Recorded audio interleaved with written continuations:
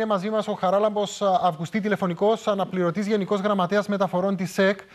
Σας χαιρετώ, κύριε Αυγουστή. Ε, καλημέρα σας, γεια σας, εσά του ακροατές.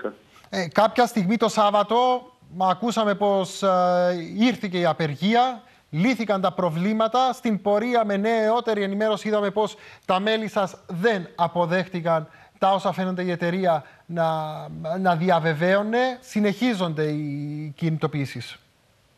Ε, ναι, ήταν μια πρόταση ουσιαστικά του Υπουργείου Μεταφορών, αλλά ουσιαστικά έπρεπε, ήταν υπό την αίρεση της έγκρισης των εργαζομένων, οι οποίοι εργαζόμενοι δεν έγκριναν αυτή την πρόταση τέλος πάντων. Υπήρχε, έχει χαθεί η εμπιστοσύνη των εργαζομένων προς την εταιρεία. Ε, ε, δεν έγινε αποδεκτή και συνεχίζεται η απεργία. Ε, τα αιτήματά σε αυτή τη στιγμή παραμένουν τα, τα ωράρια τα οποία δεν είναι σταθερά, αλλά και οι απολύσεις ε, συναδέλφων; Πρώτιστα η εταιρεία παραβίασε τον κώδικα και την εργατική νομοθεσία απολύοντας ε, μονομερός και ενώ βρισκόμασταν σε την ε, διαδικασία της μεσολάβησης του Υπουργείου Εργασίας ε, συναδέλφους το, την Παρασκευή το μεσημέρι, ε, 23 συναδέλφους στη Λευκοσία και 13 στη Λάρνακα. Συν τα υπόλοιπα προβλήματα τα οποία έχουμε θέσει πολλές φορές και στην εταιρεία αλλά και στο Υπουργείο Εργασίας που έχουν να κάνουν με τα ωράρια, τα διαλύματα και όπως τα αναφέρατε πριν και διάφορα άλλα, τους ταχογράφους που δεν δουλεύουν.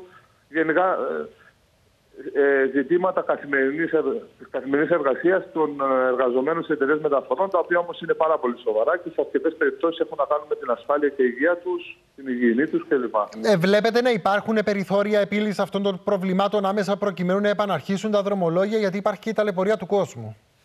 Ε, να απολογηθούμε στο εργατικό κοινό. Αναγκαστήκαμε από την εταιρεία να φτάσουμε σε αυτό το σημείο, ε, σεβόμενοι εμείς τον, και τον κώδικα βιομηχανικών σχέσεων, αλλά και τα εργασιακά θέσμενα του τόπου. Η εταιρεία δεν τα σεβάστηκε, οπότε απολογόμαστε στο κοινό, αλλά δεν έχουμε άλλη επιλογή από το να τα διεκδικήσουμε δυναμικά.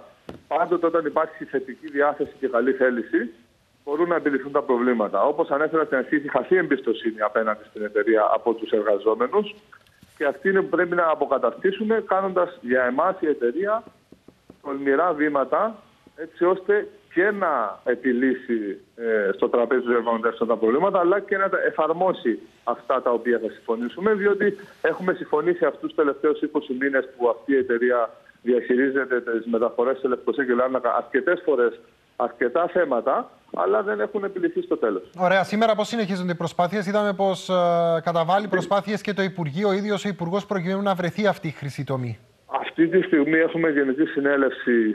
Η Λάνακα έχει απορρίψει ουσιαστικά και προχωράει σε. συνεχίζει μάλλον τις απεργιακές κινητοποιήσεις και η Λευκοσία θα πάρει απόφαση σε λίγο. Και είμαστε στα χέρια περιμένοντας τους δύο υπουργούς να παρεμβούν ε, έχουμε μια πληροφορία, δεν ξέρω αν σταθεί, ότι ο Υπουργός Μεταφορών θα έρθει εδώ στις 6 σε πολύ λίγο για να δει τους μαζεμένους απεργούς που έχουμε εδώ στην αίθουσα. Ε, να δούμε αν έχει ο κύριος Καρούσος κάτι να πει στους στους ε, απεργούς, ε, στους εργαζόμενους της εταιρείας να καθησυχάσει τις ανησυχίες του και να επαναρχίσουν τα δρομολόγια. Σας ευχαριστώ πάρα, πάρα πολύ, κύριε Αυγουστή.